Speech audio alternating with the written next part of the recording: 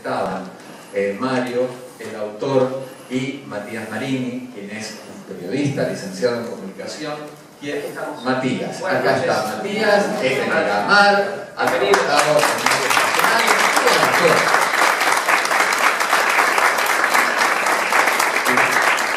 Y ahora lo están aplaudiendo de pie, ni les cuento dentro de un rato, ya van a ver. Mario, gracias por haber eh, acudido a nosotros para este momento. Matías, vos te vas a, hacer, eh, vas a hacer las referencias al libro. Así que, más allá de lo que yo me adelanté, este es el momento que escuchen a lo que verdaderamente saben. Buenas noches. Gracias por la presencia. Eh, en un día además muy particular, porque si no me equivoco hubo un paro de estatales que habrá afectado el transporte público y además tenemos una simpática ola de frío polar que nos acompaña, con lo cual doble mérito la presencia de ustedes. Así que les propongo, para empezar a calentar motores, retrotraernos un poco en el tiempo, un pequeño viaje en el tiempo, año 1959, ayer nomás. Bueno, claro, ya por entonces Virginia tenía una presencia consolidada. Año 43 se paseaba con Pepe Arias por nuestro celuloide, de modo que ya se sabía en el 59, el 59 quién era.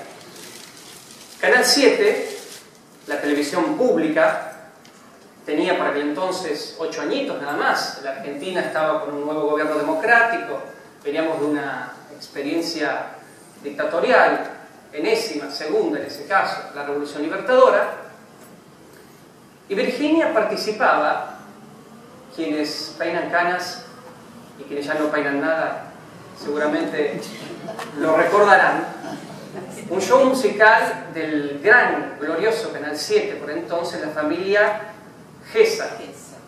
Creo que lo he pronunciado bien, ¿verdad Mario? Auspiciado por General Electric, Sociedad Anónima, de ahí viene la sigla, el acrónimo. Virginia tenía sus uh, números musicales aquel notable show hasta que un día, un percance, que quizás en la época pasaba inadvertido, la señora no puede presentarse en uno de esos números. Y vemos por qué, qué es lo que ella cuenta en primera persona al autor de la obra, Mario Galina, en una entrevista mano a mano, que es uno de los capítulos del libro. Dice Virginia, se me cursó una carta desde la dirección artística de Canal 7, donde me informaban que quedaba suspendida por un programa. La fundamentación era que había usado un atrevido escote. Año 59, Bueno, no tuve menos que acatar. Por aquellos años mi modisto era Luis Bocú, un artista de la moda, auténtico artista, un hombre muy talentoso, yo lo adoraba, era como un hermano para mí, dice Virginia. Y continúa. Él lloró conmigo cuando recibí aquella amonestación. ¿Qué pensás hacer? me dijo, y le respondí, mira mi alma, vos me vas a hacer lo que yo te digo, lo que yo siento. Un traje que tenga un cuellito mao cerradito, la manga hasta la muñeca con una falda larga al suelo. Luisito lo hizo y se empezó a crear una fuerte expectativa por mi reaparición después de la censura, porque el periodismo y la gente del ambiente que me conocían sabían que yo no iba a quedarme callada. Llegó el día del programa, pedí que no anunciaran el primer tema que iba a cantar y ataqué con que el mundo fue y será una porquería, ya lo sé. Cambalache, claro. Lo canté con mucha bronca. Todo es igual, nada es mejor. Lo mismo un burro que un gran profesor. Termina la canción, Virginia pega media vuelta y exhibe ante las cámaras de Canal 7 un escote invertido desde la cervical hasta los prolegómenos de la cintura y más allá de la inundación. Realmente un show. Esta es Virginia, así se plantaba en el escenario y lo hace aún en el viejo almacén. Y así esta pollera se impuso en el tango con esta determinación. Desde ya que no fue una censura por un escote atrevido, leyendo el libro de Mario Galina nos enteramos, porque Virginia lo cuenta por primera vez, que esa desaparición fugaz de la familia Gesa se debió a que la señora no quiso aceptar una invitación indecente, una propuesta subida de tono por parte de un alto directivo de Canal 7. Ahora, si quieren saber de qué se trata la propuesta, el libro está para la dama y el caballero a precio promocional en el ingreso de la fundación. Esta pollera, que retomó la censura con Cambalache, se convirtió después en la voz de uno de nuestros más grandes, no solo poetas, sino filósofos de la idiosincrasia argentina, que es Enrique Santo Discépolo. No fue la única pollera, claro, veníamos de Ana Falcón, tenemos también a Nelly Omar, grande Lamarque, grandes figuras. Pero claro, Virginia ha tenido la particularidad de ser una artista que comenzó en el mundo del arte dramático hasta que alguien la escuchó canturrear en las camarines y se le dijo a estudiar canto. Teatro Colón, Madame Butterfly y empezó su carrera. Hay algunos otros pocos ejemplos que Mario también subraya en el libro. Creo que el más acertado sería el de Susana Rinaldi, por ejemplo, eh, una, una actriz que ha pasado al mundo del canto mucho más recientemente la bellísima Soledad Villamil. Son otros de los, de los casos. Pero en fin, no soy experto en Virginia Luque, para eso tenemos al erudito que en breve hablará y para eso tenemos la obra que nos hace el favor de poner a nuestra disposición. Mi misión es referirme al, libro y ustedes sabrán o intuirán que en el mundo de la bibliografía hay cuanto menos, al menos a mi criterio, cuatro cuatro tipos de biografía. La primera es aquella en donde el protagonista relata en primera persona su vida, la autobiografía. Luego tenemos el caso de un tercero que se ocupa de contar la vida de otro con la anuencia de autorización, biografía autorizada. Tenemos en tercer lugar el caso de quien cuenta la vida de un tercero, un investigador, un periodista, pero que no cuenta con autorización, biografía no autorizada. Y cuarto, cuarta tipología, las biografías escritas por Mario Galina, que son, a mi criterio, una galaxia aparte. Y esto se ve en Virginia Luque, la estrella de Buenos Aires, como se ve en sus anteriores obras. ¿Por qué? El libro que Mario hoy nos ofrece es una síntesis, una amalgama casi alquímica bien lograda entre por lo menos dos géneros el género periodístico, en donde el autor se ocupa casi obsesivamente de los datos, del detalle, de la investigación pura. Y el otro género, que es el novelesco, colindante con la, con la ficción. Esto nos permite dos cosas. En principio, aquel lector que habiendo seguido a Virginia, sobre todo en el audiovisual, es decir, en el cine, en la música, y que de repente no tenga el hábito de la lectura, o le resulte incluso hasta molesto leer, no esté acostumbrado, cuando se enfrenta a la prosa límpida de Mario Galina, yo les puedo asegurar, a quienes todavía no han leído su obra, muchos podrán dar testimonio esta noche, que cuando uno lo lee, en realidad no siente que está leyendo, sino que alguien, en este caso el autor, le está relatando, narrando, contando la historia. Es una prosa muy diáfana. Y esta oralidad de la escritura de Mario Galina viene acompañada también con una visualidad, porque uno va reconstruyendo una película al leer su libro.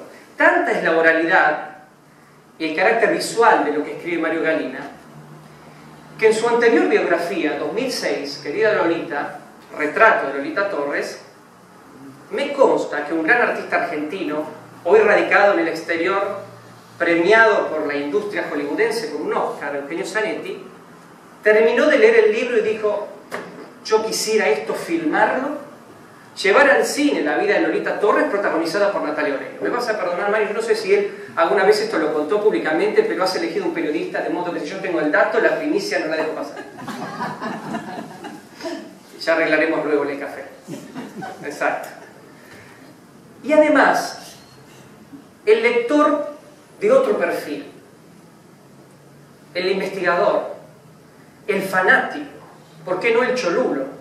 que necesita el dato preciso, exhaustivo, va a encontrar en el libro de Mario apartados en donde está la ficha técnica desmenuzada con cada detalle, cada minucia sobre las, participaciones de Virginia en cine, radio, televisión y además discografía.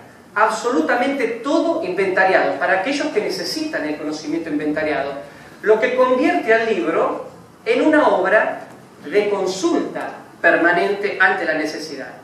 Y además nos hace el favor el Señor, y ha dejado las pestañas en esto, de haber incluido un índice onomástico, es decir, un índice de nombre y de apellido de cada una de las personas que se mencionan en el libro. De modo que si eh, el lector está interesado en saber qué es lo que Aníbal Troilo, qué es lo que eh, Mariano Mores, Hugo del Carril tuvieron que ver en la vida de Virginia Luque, va al índice onomástico, busca del Carril, coma Hugo, y ahí están consignadas todas las páginas en donde uno va a encontrar la mención de Hugo del Carril y el porqué.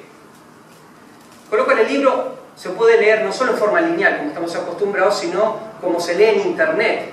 Es decir, ingresar a la obra por sus meandros, por sus pasillos, sus laterales. Que esto es importante también, fundamental. Además, los testimonios que él ha consultado de primera mano.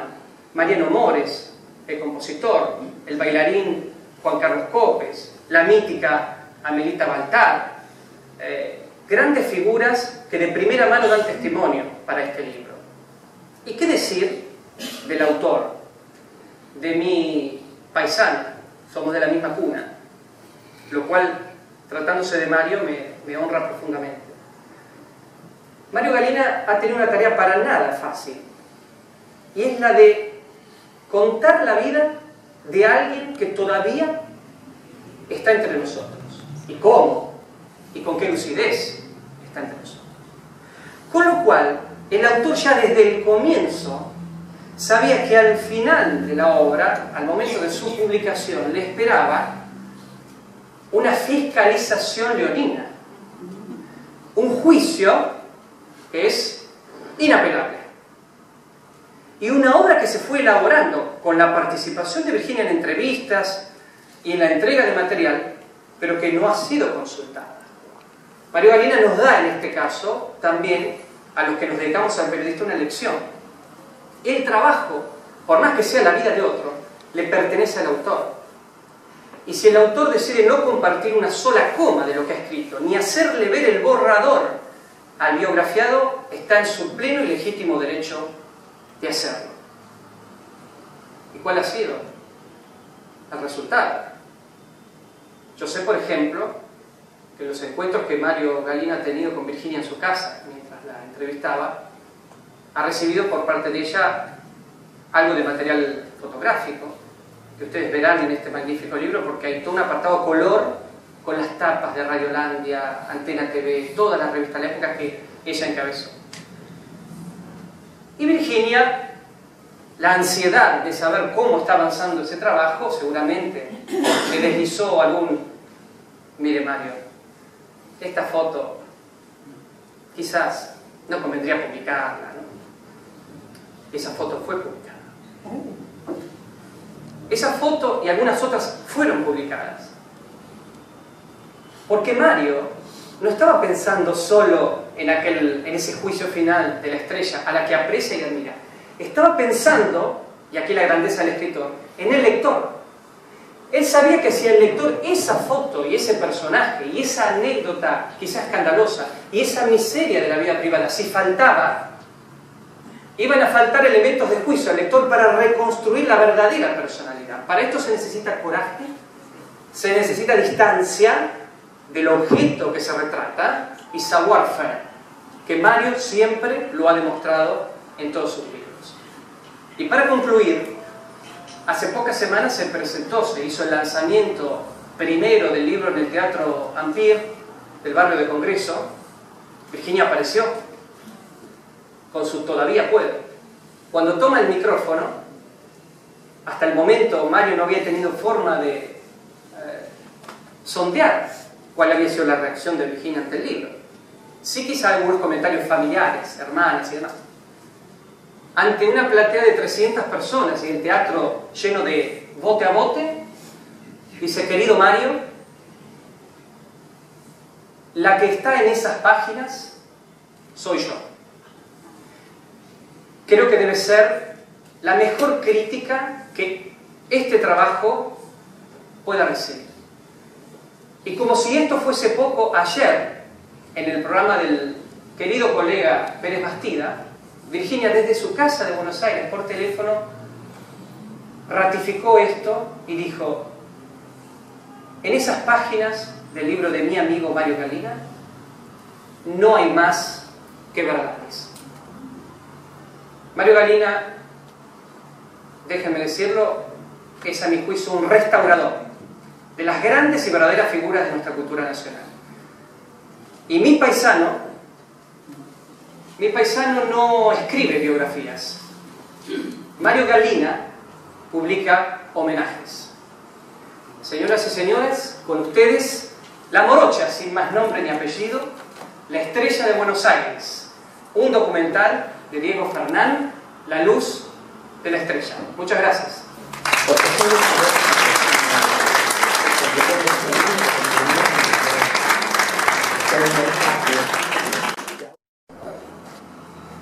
Quiero agradecerles, eh, como digo, este, su presencia y también eh, dar la gratitud a toda la gente que de alguna u otra manera tuvo que ver con este libro. A mi familia, a mi mujer, a mis hijos, sin, sin quienes yo no podría hacer nada. Eh, no sé cómo poner esto para que se escuche bien. A la mirada del, periodista Matías Marini, que además, eh, que gentilmente eh, hoy eh, me precedió en la palabra, fue uno de los primeros que vio mi libro terminado me sugirió muchas cosas para enriquecerlo. Y quiero agradecer a Horacio Margal, que es el dueño de la librería antigua, una librería que está en Buenos Aires en 1100, que fue uno de los grandes impulsores de este libro, fue el que me motivó eh, desde todo punto de vista para hacerlo. Hay mucha más gente para agradecer y la nómina está en el libro, sería poco cansador hacerlo aquí, pero me van a permitir que resuma todos esos nombres en uno, que es Ricardo Stuni. Quizá muchos de ustedes lo conozcan. Ricardo Stuni fue un ser lleno de luz, un gran tanguero, un gran hombre, un gran ciudadano, cumplió funciones públicas con dignidad. Fue él el que estuvo en los cuatro años que yo trabajé en el libro, detrás mío, consultándolo yo constantemente, molestándolo, diciéndole, aquel en la película El hombre del sábado hay un pianista que a mí me parece que es conocido, usted, usted tiene que saber, a mí me parece que se estampone, que estampone, y, pero no tengo seguridad, y luego me decía, efectivamente, que se estampone porque yo acabo de hablar con Estampone y lo voy a ver el sábado, etcétera, etcétera. Todo ese trabajo que hace un investigador y que solo no lo puede hacer si no hay gente que lo ayuda, como él, o decirle, bueno, en tal película ella baila una milonga con alguien que a mí me parece que no es un bailarín más, y a las dos, tres, cuatro semanas, Ostuni me decía, se trata de Ángel Eleta, uno de los grandes bailarines que hubo en nuestro país. A Ostuni, que ya no está acá, pero que está, que está aquí, que está en este libro, yo le quiero agradecer tanta ayuda y tanta generosidad. Eh, el otro día, en una entrevista que me hicieron, un periodista me preguntó por qué Virginia. Porque no otro. O otro. Es una pregunta simple, si se quiere, pero es una pregunta conducente. Es una, una pregunta que tiene más de una respuesta, además. Una primera respuesta me puede remitir a una carrera bastante particular. A muchas cantantes de tango, y muy meritorias. Y ya con cantar tango solamente eh, y hacerlo bien, no es poca cosa. Pero Virginia Luque es algo más. Es una personalidad del, del, del espectáculo argentino con variadas facetas. Se formó adolescente en la escena, debutó a los 15 años, hace 70. Este año se cumplen 70 años desde su debut.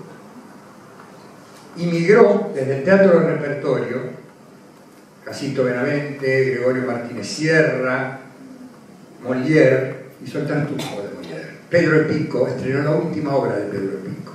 Gregorio de la Ferrer hizo La Carmen, de las de Barranco, con Pierina de Alessi, en una famosa escena que todavía se recuerda cuando la hija sojuzgada enfrenta a María Barranco. Todo esto en el Teatro San Martín y muchos otros teatros. De ahí saltó al cine y entre una y otra disciplina se le abrió un camino que con los años se transformaría en fundamental, que fue el canto.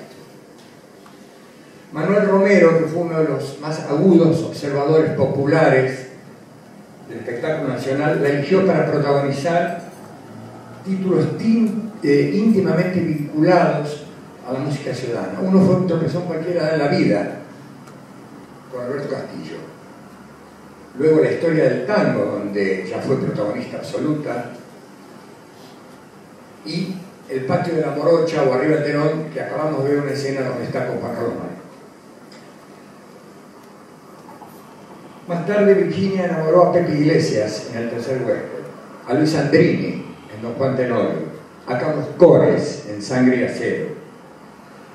Y el deslumbramiento se extendió a todos cuando desbordó sensualidad en La balandra Isabel llegó esta tarde, dirigida por Carlos Hugo Christensen en Venezuela, con la que prácticamente se inauguró la industria cinematográfica venezolana, junto a un astro muy famoso en aquellos años, había filmado en Hollywood, que era el mexicano Arturo de Córdoba, hemos visto también ese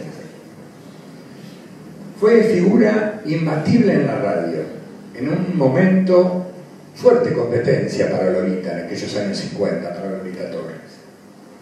Eh, fue pionera de la televisión argentina. El 17 de octubre de 1951, en Carlos, en, la Villa 9 de Julio, se levantó ese escenario y se hizo un gran show y se inauguró la televisión. Una de las figuras que actuó fue Virginia.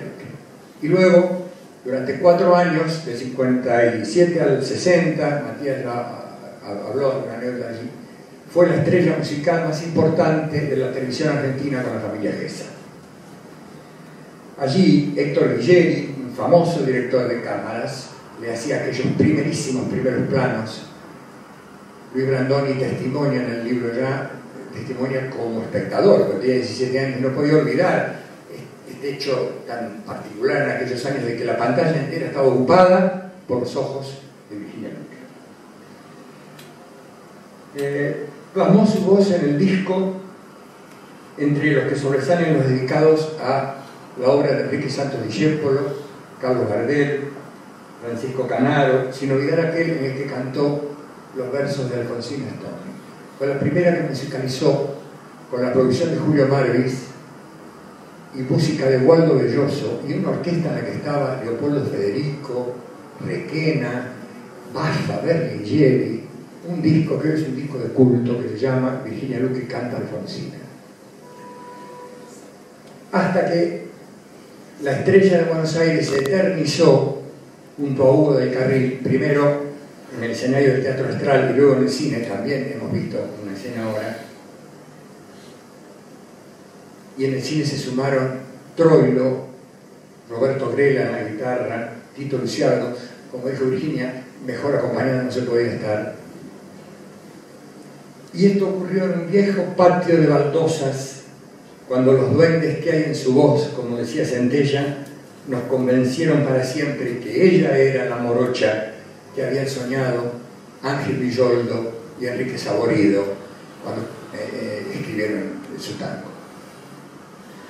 Gustavo Santaolalla rubricó hace poco todo esto, convocándola para el Café de los Maestros, también hemos visto la escena del Teatro Colón, donde fue prácticamente uno de las, tenía casi 80 años.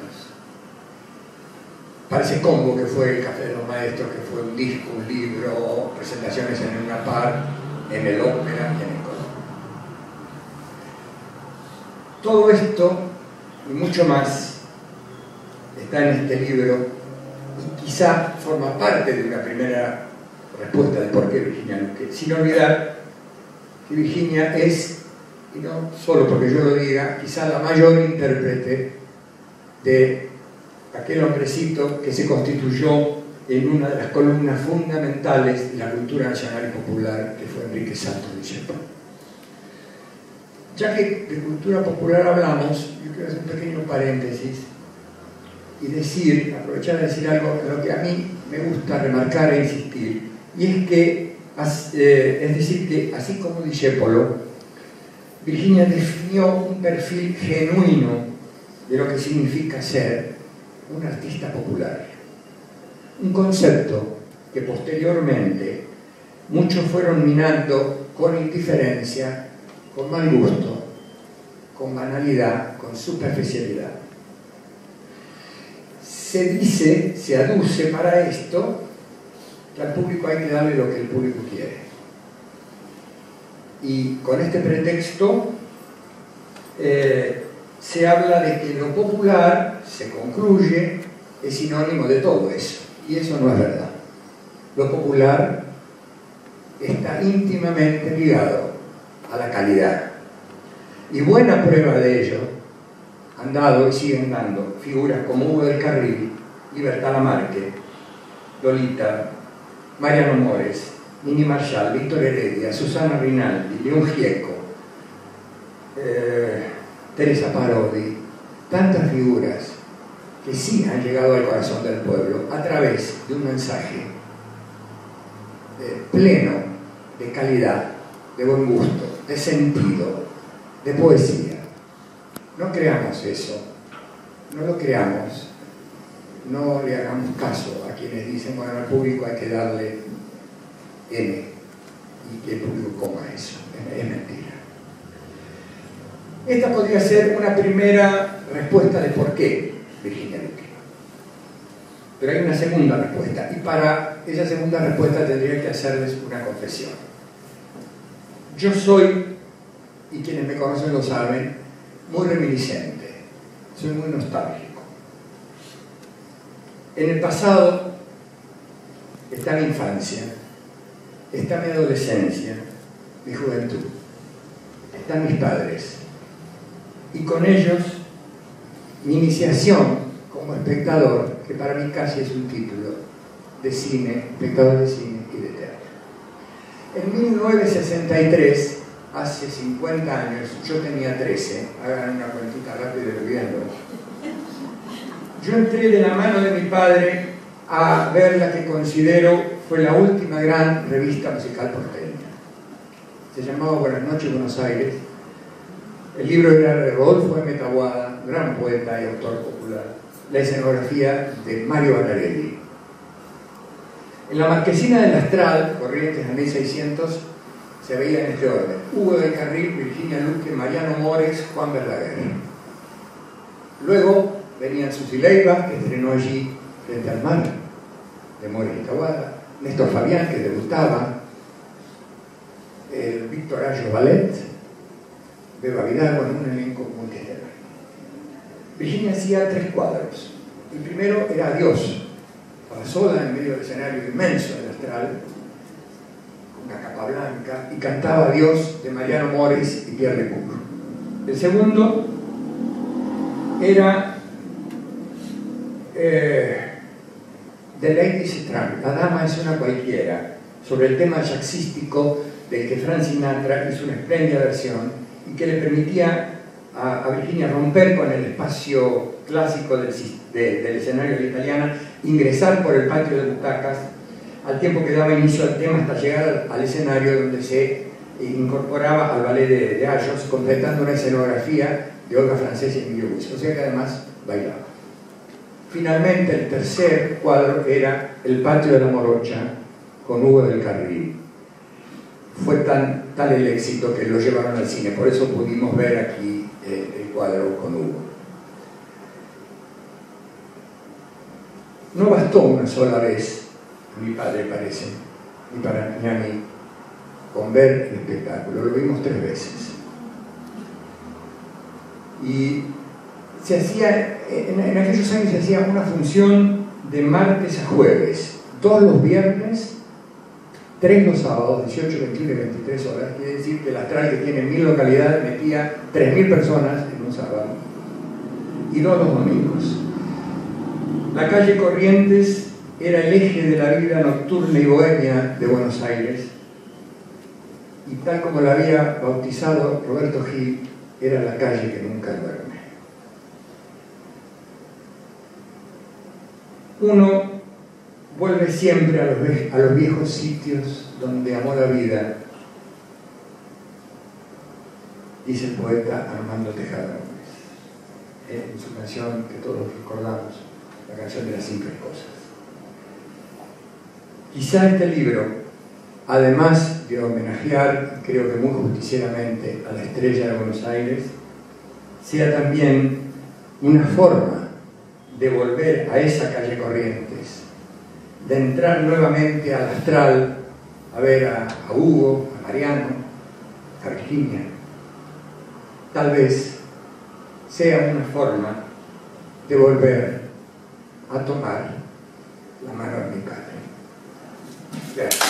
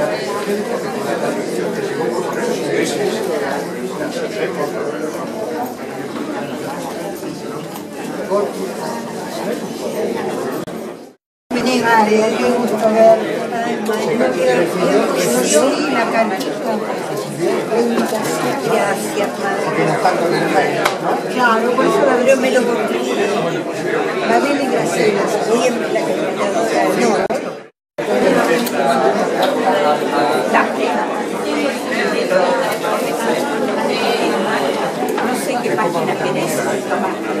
¿Con? Sí. El labor está la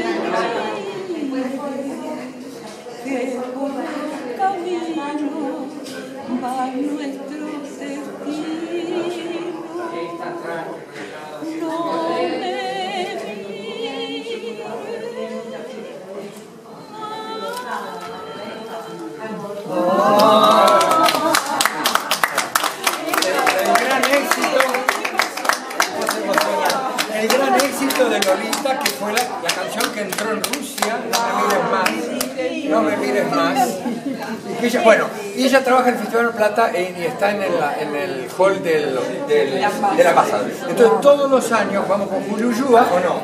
Y Mario, y que está allá filmando, y le decimos a Azucena cantando No me mires más, y ella nos canta. Nos canta pero, pero, pero, no, pero estamos...